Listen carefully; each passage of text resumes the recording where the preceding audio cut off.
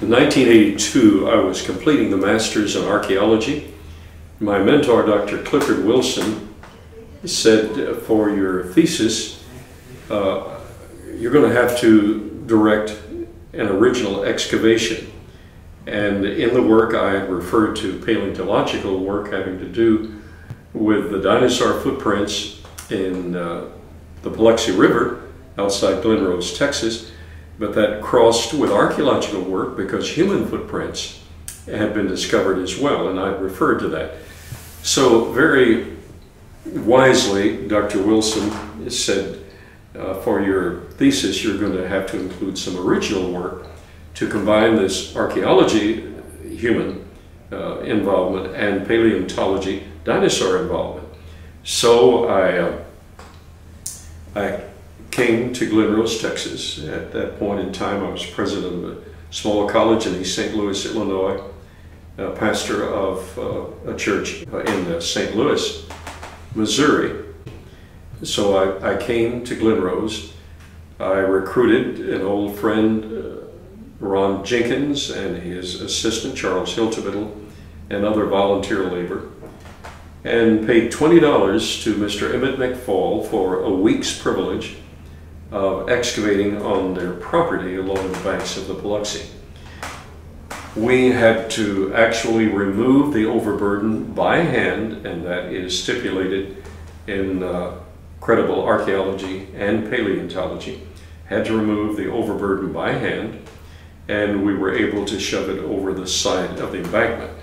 Now, due to state regulations, we're not permitted to do that anymore, and we follow the regulations to the letter.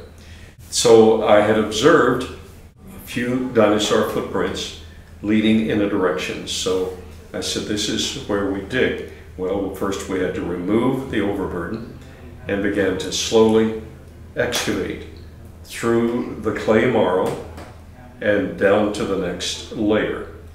And uh, over a period of days, we had 19 different new dinosaur footprints, tridactyl, that is three-toed dinosaur footprints that were made by Acrocanthosaurus. And then I was ready to terminate the excavations and go back to Missouri. And uh, Charles Hiltebittle and uh, one of the others assistants said, uh, just let us, we'll do the work, you tell us what to do. Let us remove just one more slab. We have the manpower here, you've trained them what to do, They'll do it correctly. Just let us remove one more slab. Well, if you knew the terrain of the Paluxy due to the long centuries and millennia movement of the rocks, there are cracks every few feet. And we learn to pry, to elevate, and then drop slab of rock. Sometimes it's six feet, sometimes it's eight feet by four, by six, depending on conditions able to drop it back down and that breaks the surface plane. Then we're able to pry that onto rollers and that doesn't destroy the site. And he called for me and uh, he said, I think we found something, okay. And I said, oh, Charles, that's probably just another dinosaur track. He said, well, I've seen you excavate enough of them. Uh, it's not pointed, it's rounded. So I stepped down and said, let me take a closer look and uh, it appeared to be the heel of something different. So I said, please step back. So I excavated actually to and under the next ledge, and it turned out to be a 16 and a half inch human footprint that was 17 inches from the dinosaur track nearby. So then we removed uh, more of the ledge, excavated. There was a left, we had a right, another left, and another right to be able to credibly state that we have a trail of anything, you need at least three, left, right, left, or right, left, right. And here we had four. I made one call to the press.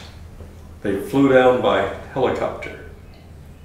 And the next morning I got on the plane to fly back to St. Louis. The Fort Worth Star Telegram had front page track step on evolution.